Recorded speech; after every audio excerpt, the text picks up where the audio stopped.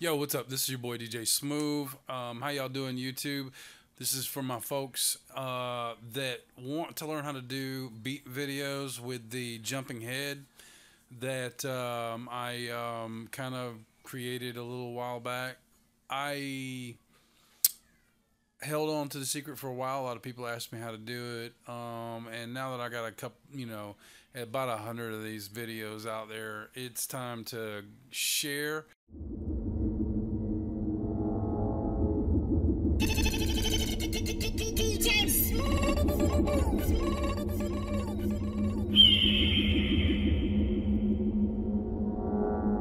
So let's get started. Let's uh, show you how I make beat videos. We're going to jump right in. I'm going to fire up some Photoshopage um, and we're going to basically cut out some um, some heads and create the thumbnail and the raw images needed to do the jumping head uh, technique. It's uh, it's really not all that difficult, but um, it just it's um it just needs to be uh the work has to be done before you know you start creating um a video. Anyways um now we're gonna open up a new um project in photoshop. It's 1280 by 720 that's for the thumbnail that we're gonna create. And um, from there we're gonna go and um let's see we'll find us some um, art. So we can do a few different things. Um, i like using um, newer art. And one way to find it is to go into google and search for something like um, let's say 21 Savage toon is uh is one way to look look for these things. Um, and we've got some fan art here, 21 Savage. The um next step is just to kind of pick something that you want to use and get started on it. So we're just going to scroll down here and grab something.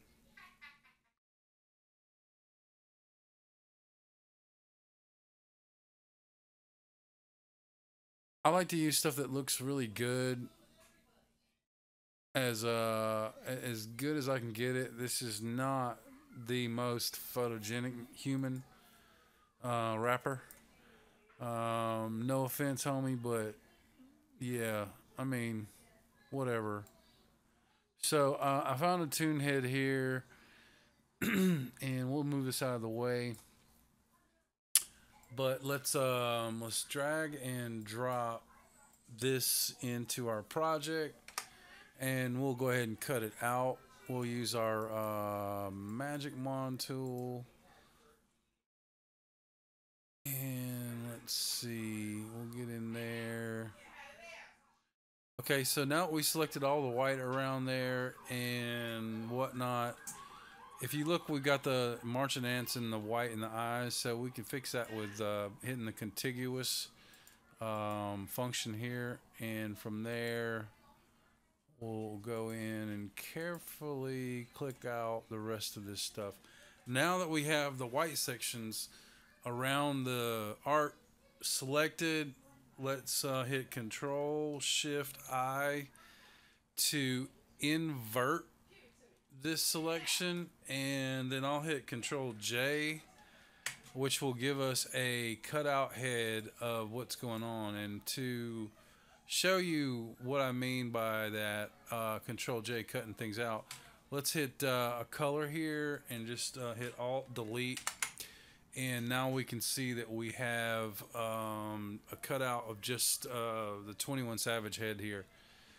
The next thing is to look for some sort of background for this. And we can just look for like a toon mansion. Uh, I'm just kind of going. Um, it's not too bad. Um, there we go. That's something kind of cool. Um, except that there's like watermarks all over it, and usually that wouldn't be a big deal.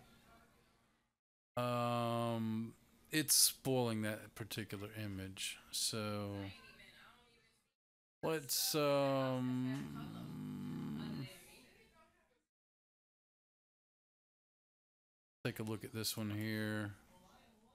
This will be fine. Um, save the image. Fuck, it's a WebP. Fuck do you do with a WebP? Let's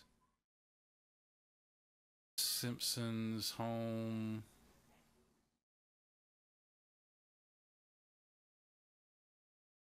Hmm. Save image as. We're just gonna use this guy. It's a JPEG. And um, from there we can um, go ahead and drag that into the project and uh, use it as a background. Um, grab a corner here and size everything up. Um,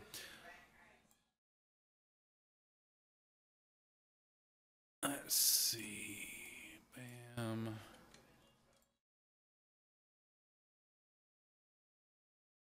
Grab a corner and stretch it out. Um, and there we go. Um, now the uh, next step is to uh, maybe add some grunge to it. Um, give it a bit more um, dirt. So let's just type in grunge and um,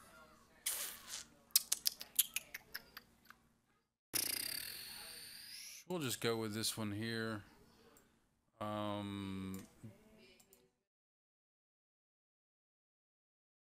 actually, that's got watermarks on it, and that's okay. Uh, but not really.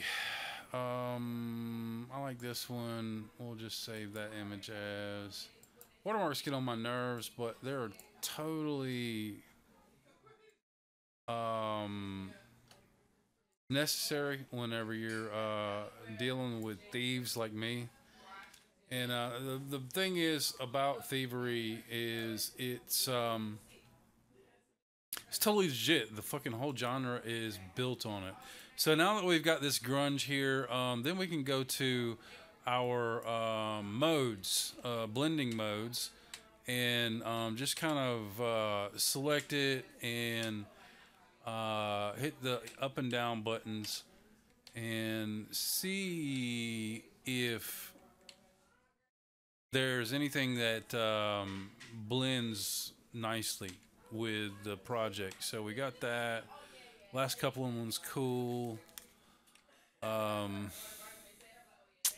this is pretty nice. The soft light is, is one I usually I use a lot. The um, overlay is also another one I use a lot. So in this case here, I'm just gonna use the soft light and let's save this layer for uh, for the actual video. So now we got a background and we have a, a head cut out. The next step is to just to export these all um, properly. When you're dealing with a, a head, a cutout like this, you need to export it without a background. So you turn off all the other layers and you save this as a ping, a PNG file. So the PNG is right here, and what this does is saves it as let's see, 21, 21 head. It saves it as a 1280 by 720 PNG file with no background. So now that we've got that, um, let's select this background here. We'll save this Control Shift S as a JPEG because it's just a flat background for the video. So save this as 21 Savage BG and um, press OK. Now we can fire up After Effects. After Effects is a program similar to Vegas, which you may already be using, um, or Premiere. Um, After Effects is used for video compositing, which is precisely what this is: is compositing little pieces of video together. Um, a lot like making a beat, you know, um, fitting pieces together into a um, a bigger picture. So with After Effects, um, you can find this on um, the Adobe website. It's um, it's pretty fucking expensive and stuff, but um, you know I I pirated this software to be honest with you. I'm not making that much money off of my music at this point. I'm just building my fan base. So um, I'm just gonna tell you like do what you gotta do. Anyways, uh, you can DM me on Instagram at DJ underscore smooth S M U V DJ underscore S M U V, and they uh, I'll, I'll shoot you a, a link where you can find this pretty quickly. So we'll pick out a beat um, that um, has a lot of dynamic range here.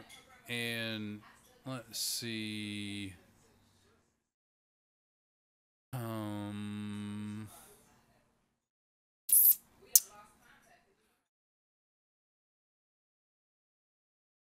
just let's get something going here. Um, wine and roses, man. Just dude, grab something.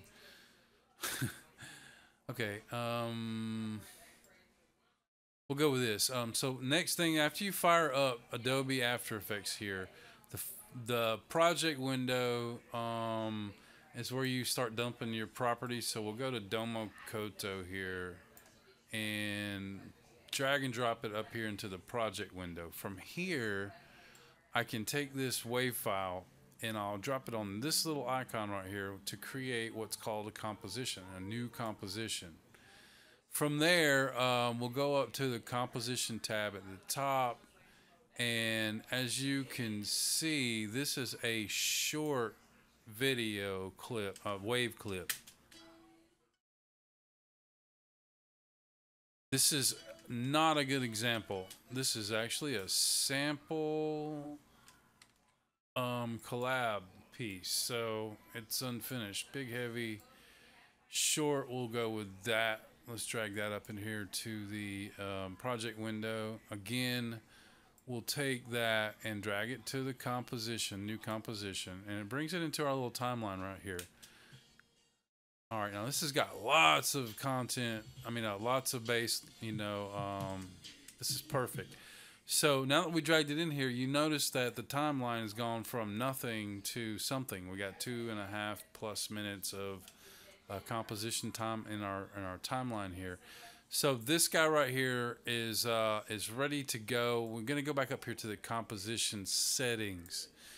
I use 1280 by 720 um, and I made a preset for it just because it's um, creates a nice uh, size file for uploading to YouTube and um, 25 frames per second. Um, when you drag and drop into this new composition with the wave first or the MP3 first, it'll automatically set your duration time from um, the first piece imported into the project. Now we close this out. Um, we've named it Big Heavy Short after the name of the the audio file. And now um, we can right click down here on the timeline and in the um, um area here I'll right click the wave itself and hit keyframe assistant, convert audio to keyframes. All right. What that does is takes this audio LL and makes a keyframe of every keyframe of the amplitude of this waveform. Okay, so every second there's 25 keyframes, um, and those are numerical values here that we use to manipulate things in the uh, playback. So um, I use, uh, if you hit this little down arrow right here, you can get into the effects and the transform functions, what have you. Hit the effects button and then hit the both channels function to leave that open. Next up is we can bring in our uh, composition um, elements for the video. Um, so let's go to where we keep those. Those are in art. Now we'll bring those in here and we'll grab the JPEG and the ping and drag them into the project window. All right. You can actually drag them right here onto this as well if you want to or uh, into the timeline. It doesn't really matter. Um, what matters is that you have this stuff like kind of pre-cut out. Now, remember our grunge file? Um, we can take our grunge file here and um, drag it in here into the timeline. And this is very similar to uh, the modes in Photoshop. Um, very, very similar. I want to make this uh, a bit more complex. So I'm going to just grab a corner of it, um, bring it down to size, and then click on this one more time and hold down the shift button and use either the plus or minus keys um, at the top of your keyboard, um, not over on the number pad and you can flip through. Notice the uh, modes. Very, very similar. Very similar to um, Photoshop. Screen is good, um, but we also have um, soft light, pin lights, overlays. Overlay is really good. Um, overlay makes things um, interesting. Um, I don't want that that much dirt, but um, soft light is good. Again, we were um, taking a note of soft light on the Photoshop there. So now we have our elements in place. Now all we have to do is tell this head right here to jump to the amplitude, to the keyframes here. So in order to do that, we'll click the PNG um, file for this head and we will hit S. Okay, that brings up our scale function.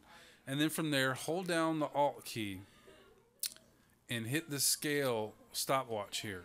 All right, that's going to bring up a a expression in um, the actual timeline here, and I'll show you how to custom make that expression right quick in just a second. So in order to make this head jump, we need to pick whip uh, or tie it to the audio amplitude keyframes here. So we'll go back to audio amplitude, hit the down arrow and hit the effects, hit both channels.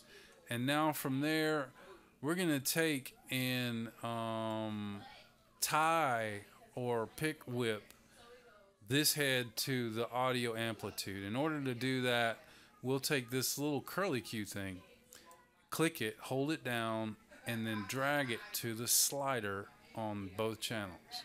Okay? Again, just hit the little pick whip and tie it to the slider here. Now you notice it brings up this uh, temp temp, um, basically called a regular expression. Um, hit the space key then hit plus space key again left bracket 100 comma 100 right bracket okay now you can um, click anywhere in here and hopefully you won't have an error message here saying that you fucked up your regular expression writing. So that's it. Um, now all we got to do is just test and make sure it works. Um, hit the space key. And there's 21 Savage as Riley. And his head is jumping.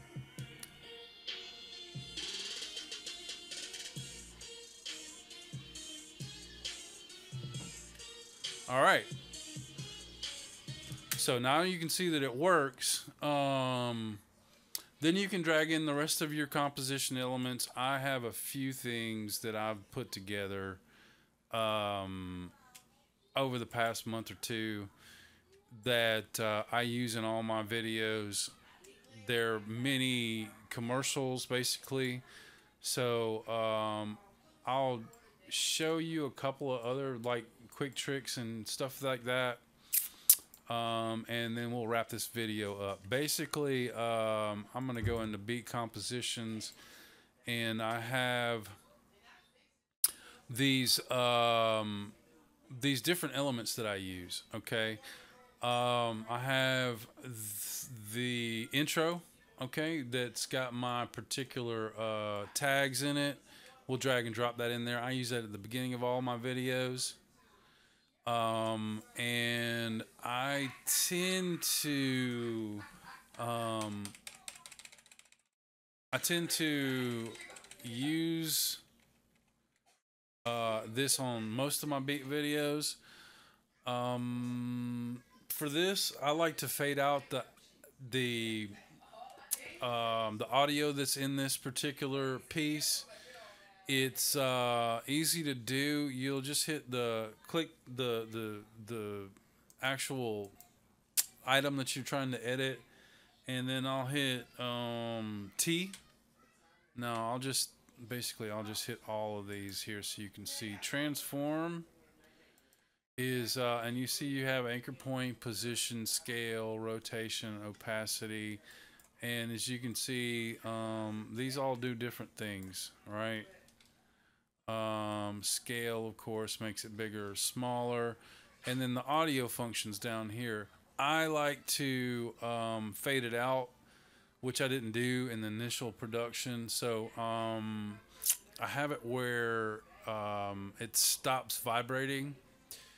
Uh, and you'll use the like the page up or page down um, buttons to uh, move forward or backwards by one keyframe. Um, I know this is not making a lot of sense to you, but you'll need to watch some some other After Effects videos to kind of get an overview. This is kind of an advanced tutorial, but either way, I'm going to set a keyframe at full volume, and then I'm going to hit the O key to bring me to the end of this clip.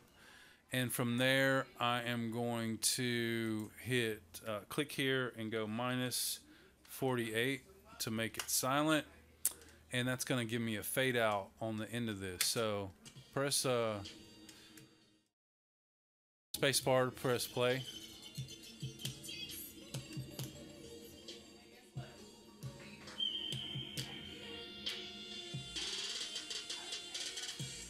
All right, so that's working. Um, last couple of things is um, overlay loops and um, things of that nature.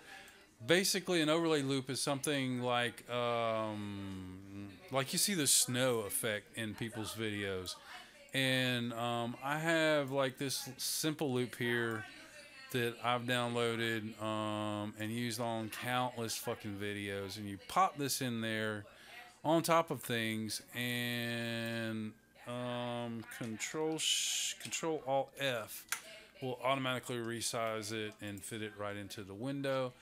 Now, um, if you notice, it's completely blocked everything out. But again, if we go to our modes here and hit shift, um, select the layer you want to adjust the modes on and just hit the plus key, minus key, what have you. And now you can see uh, 21 Riley here has um, even more grunge and more things going on. Um, kind of. Uh, see, I kind of like the one we started out with, but Um, that's neat. I don't know. And you see it's turned it opposite, so the whites are blacks and so forth, and that's from uh, the divide mode. I'm not real oh, gonna go with that, but this is this is cool. I'm just gonna go back to that's all right. Um, and again, you can um, just use your creativity here for this um, video. I can hit the S button here for this little loop, and again, hold down the Alt key and hit the scale and I'm going to show you how to uh, pick whip this again. So we grab this little circle, run it down here to the slider on both channels, and again, space plus space, left bracket, 100, comma, 100, right bracket. And now our snow is jumping with the head. We have motion and um, it's kind of cool. Um, I actually think I want to put this behind Riley. And I can also edit the um, overlay loop here and tell it not to be as aggressive or more aggressive by modifying these functions um, these two functions. One is x, one is y. So I want to go and do 110 and 125 or 120. And what it's going to do is give it um, stretch it in different ways. Basically, the expression, the regular expression that we're using here, is uh, stretching it a little bit more in one direction than another. Um, and you can use this to change colors of things, all sorts of things. You can use the audio amplitude function um, to control on your videos. The next step um, that we've got is basically to uh, export this guy. So um, we're going to go and make sure we save this. Save as um, 21 Savage Beat tutorial video thingy. Um, just save it for whatever you want. But um, the next step is to send this guy to uh, render. All right. So now that we've got the video, we've got all of our elements in place. Um, then we have to render um, the project into a file. The way to do that is to hit Control M. Control M is going to bring up your render uh, queue right here. Control M is not bringing up my render queue. So um, I'll just do it manually and then from there, um, I uh, would say you don't need to use lossless, um, and you don't need to export as an AVI because a three second, I mean, a three minute video will come out like nine to 12 gigabytes. So, um, in order to make this a one step process, um, After Effects comes with um, usually comes with another program called um, Media Encoder, Adobe Media Encoder, right here. So when you get your hands on After Effects, get the Media Encoder from the same year, and uh, make sure you install them both. And um, from there, I can send this queue in AME to to basically Adobe Media Encoder. Once I click this, all of these settings here are moot because it's going to bring up this function, which is going to um, render this file as a finished file, as an MP4 instead of a .mov because here's the thing about After Effects. It doesn't export MP4s, it doesn't export FLVs, it doesn't export the cheap seat stuff. This is a, a heavy duty program, and once you start researching it and learning it, um, you will start seeing when you're watching TV or looking at ads on Facebook or Instagram that, oh, that was created in After Effects. Oh, that was created in After Effects. Um, because it's the only program that really does what it does. Okay. Um, anyways, uh, this should be bringing up my Adobe Media Encoder. I should have already had it running, to be honest with you. I apologize for that. But whatever. Um, these functions here, you can just render standard, um, but you don't want to use AVI, so you'll hit this lossless tab here. And you'll want to drag it down to QuickTime, which is a .mov file, um, and press OK uh, here, and um, then you can render it straight in here. Then you'll have to encode it again um, if you render straight in Adobe After Effects with this particular program, or you might dump it into Sony Vegas so you can make it into an MP MP4 file. so why not just have a one-stop shop? Um, now the next uh, thing here is uh, Adobe Media Encoder is pulled up. It's got this queued, um, and the preset I use um, is typically the um,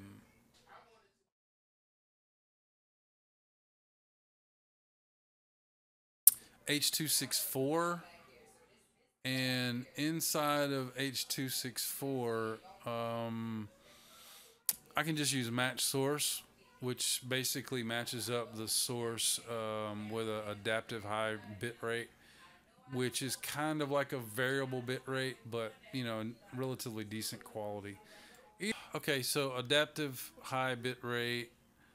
Um, then press the little green button up here, and what that's going to do is fire up the render engine, and it's going to skip the middle step it's going to just output this as a .mp4 file ready to upload into um, YouTube.